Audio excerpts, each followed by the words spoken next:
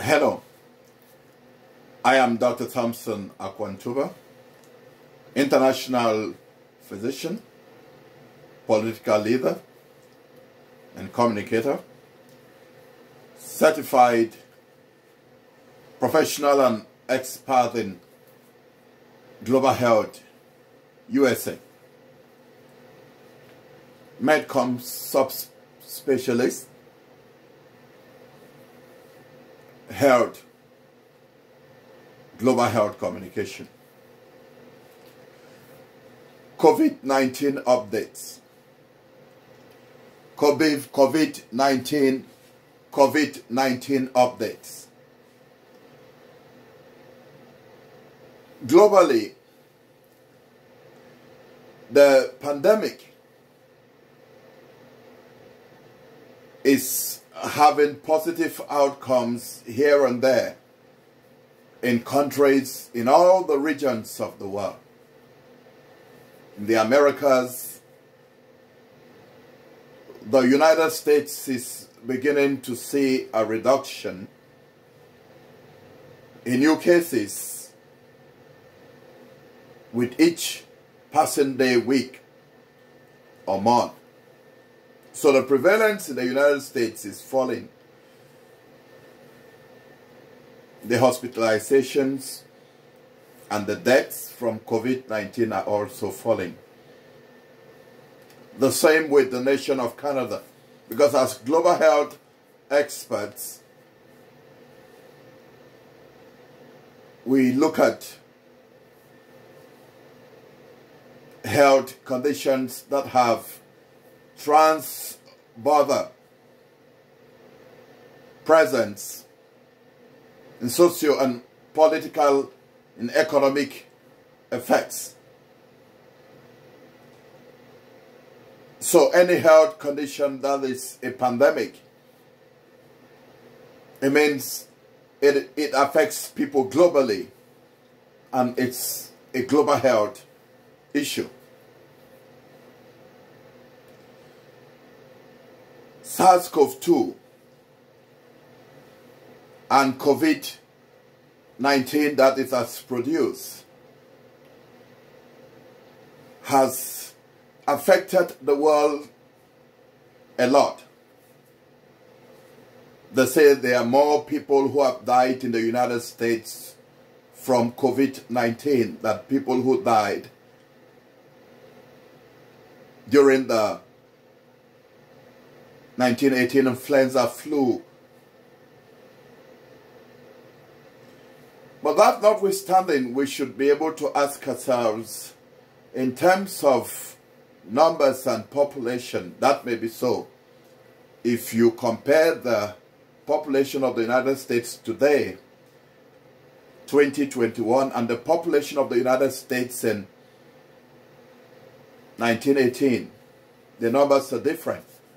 And so the, the ratio of deaths compared to the total population is also different. But we are not talking about 1918, even though we can always go back to 1918 to, to learn some lessons to apply to pandemics. COVID-19, a good example that we are dealing with.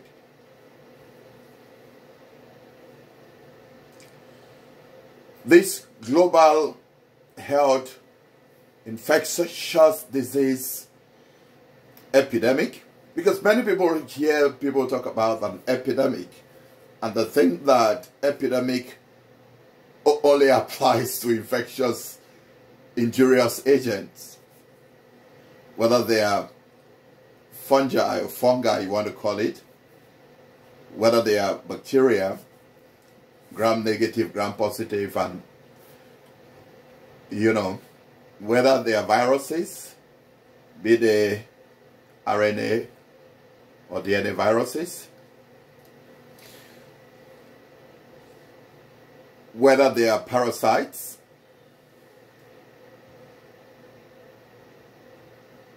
there is the endemicity. That is to say that at any particular time, you will, you will find that that problem be they an injurious disease problem or maybe a health problem, maybe a chronic problem that suddenly has a very huge population affected within the period that becomes a pandemic. So an endemic problem may suddenly become an epidemic. And when that epidemic actually happens in multiple countries and continents around the world, then it's called a pandemic. So we could have, like we are talking about, the drug epidemic, fentanyl and other drugs that are abused in the United States. Suddenly we have huge populations of people in, in America dying from, from this problem. And so it's an epidemic. But before then, there were people, it was an endemic problem. There were people who were, you know, uh, uh, consuming drugs and uh, abusing drugs, but the number wasn't suddenly very high. In global health, we also talk about the DALYs and the QALYs, the quality adjusted lives, the disability adjusted life years, the quality adjusted life years. So we, we look at how certain disease conditions affect the quality of life of a people. In Houston, there, there is nothing like a health committee in the city. They have a, a quality of life committee, which is a, a, a, a, beautiful thing because it's not limited only to everyday disease conditions because we know how we define a health according to the World Health Organization. It's a state of complete social, physical, mental, and some of us have added spiritual well-being, not necessarily the absence of disease or deformity or disability. So, diseases and disabilities can be there and they can affect your quality of life. They can affect your, your lifespan. How long you are going to live can be affected by diseases and disabilities. There are people who talk about COVID. They talk about COVID long haul. So they are looking at the possibility of COVID have, uh, creating disabilities. There are studies going on to look at the effect of COVID in pregnancy. And can fetuses, can, can, can fetuses be delivered with congenital abnormalities or deformities. That is to say that they are delivered and at bed, medical personnel can detect deformities. That, that is what we call congenital abnormalities or deformities, which are things which happen during the embryological development pro process. The United States of America has looked at the request of one of the three companies that produce the vaccines that they are using in the US.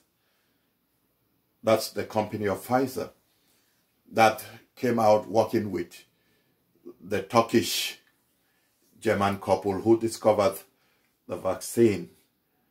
Their company is known as the BioNTech company working with Pfizer. And Pfizer has gotten approval of his request to have a third dose or third doses given to certain people, even though it, it doesn't meet the requirements of the administration of President Joe Biden to have everybody who was vaccinated by who, who, who was given the, the Pfizer vaccine to have a booster. Those who qualify according to the FDA or the, or, or the Food and Drug Administration in the United States are people who are above 65 years of age, certain people with certain health or pre-existing conditions, and those who are high risk.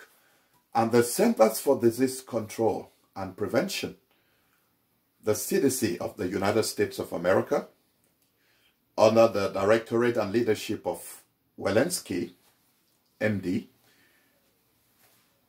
has recommended that teachers,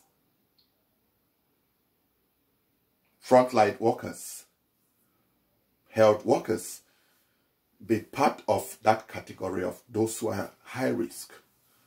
Then we have, we know people who have pre-existing, certain pre-existing conditions. There are certain conditions that on their own will actually depress the immune system. In immunology, we have immune diseases. Some of those immune diseases are inborn. They are related to inborn errors of metabolism and related things. Some of those are coming from cancers and certain, you know, anti-cancer medications, chemotherapy, related drugs and things that on their own can depress the immune system. Because you see what medications, vaccines do is they stimulate the immune system to be able to to fight. The immune system is a defense, it's a warring uh, army mechanism of different body cells, predominantly white cells and, and the other um, antibodies, proteins, which the body makes to fight what they call foreign bodies or antigens. So everything that is foreign every injurious agent, every antigen that comes from outside, the body fights it and tries to overpower it. But when that doesn't happen and it overpowers the body, then it begins to create its own problems. So, immunology on its own, vaccination is all of that primary understanding of bioscience so we can have uh, a situation like we have and we have conditions that are depressing the immune system. So we notice that the immune system is not actually working as well as it would do for somebody who doesn't have a depressed and immunocompromised, we will say, situation. Somebody will say, but that's it's mostly we mostly use that under HIV AIDS, acquired immune deficiency syndrome, right? That's correct. But so far, though that has been a discussion, there is no scientific evidence and data to back the fact that people with HIV AIDS who are having their normal treatment and therapeutic um, health medical commodities are not prevented from uh, COVID-19. So, the information and the education is for you to know as a medical communicator I am telling you that the CDC has come with those guidelines following the FDA approval of a booster for certain categories of people. So anybody who is above 12 years of age and who qualified and had had the first dose and the second dose and after six months could have a booster in the United States. Now, this is not contrary to the position of the World Health Organization because we've been having the the bi-weekly uh, briefings and meetings with the Director General of the World Health Organization, Dr. Tedros, out of Geneva. And I know that Dr. Tedros uh, is in the forefront of no uh, COVID vaccine nationalism. Yes to equity. Yes to COVAX. And America has been doing a lot. America has contributed, as the president has said, tens and tens and tens and tens of millions of vaccines to all the continents of the world. That's why you see the packages is written um, COVAX, and then you see the United States of America. That tells you that that is the, the WHO uh, COVAX contribution that is coming from the United States of America. You should know that Trump had actually pulled the U.S. out of the WHO at the time that the WHO needed uh, American leadership and contribution. But as people will say, thank God. Thank God for you and all of us who fought so hard that things get better. And as God will answer prayers, or if you don't believe in God, as nature will do its things, somebody who was going to work with the rest of the world had to come in as the president of the United States. And the world owes America, the world owes America a thank you for what America has, has already done and the pledges that the Biden administration has made in its recent COVID-19 summit with other world leaders and the pledges that he has made, the world owes America a thank you and the, and the world is saying thank you. And the world is pleading with America that more should be done because there are lots of people in lower middle income countries who have, who have not had the first uh, dose. Most African countries have had just less than 3%, 4% of their uh, population vaccinated. But so far, the, the public health measures, the social measures are working. So this is saying that those of you in the Americas, South America, in Africa, in Eastern and other parts of Europe, same with Asia, the island states and nations, especially those of you who have been talking about what you've been doing and your challenges at UNGA 76. We experts in medical communication or medcoms, I specialize in global health communication, are actually saying that keep on relying and applying your public health and social uh, measures that have helped your countries to contain this virus so far. We have very low hospitalization rates and deaths in many African countries thanks to what you have done and continue to do that. Continue to, to test, trace or contact tracing, do the physical and social distances as is required. For those of you who are in Africa and you're preparing for the AFCON, the 9th of January.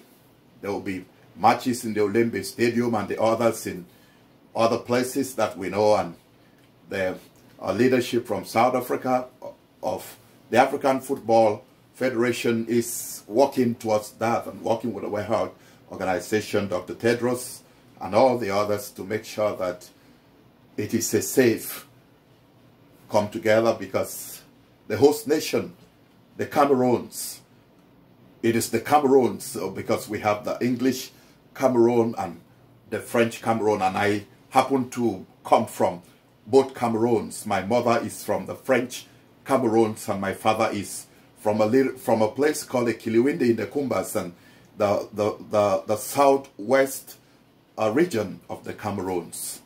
We thank you for everything that you are doing in preparation for that.